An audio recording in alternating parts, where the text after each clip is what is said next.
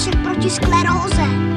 Sladké mávení, chvíle závratí, střípky zázraků, které čas už nevrátí.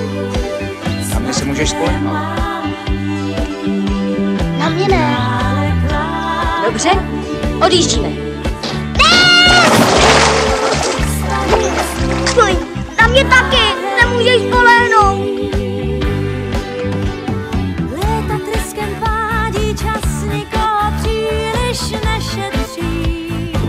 Řekněme si to otevřeně, přáteli. Naše ženy to vlastně s dětmi vůbec neví. Nebo jako ani slová spát. Huš! Huš! Jsou ještě pozůstatky nedůsledné výchovy její matky. Čeho se nebojte, přátelé? My nejenom, že máme talent, my si zvolíme i taktiku, co to budu opisovat. Já vám slibuju, že tak skvělý den jste nikdy v životě nezažil.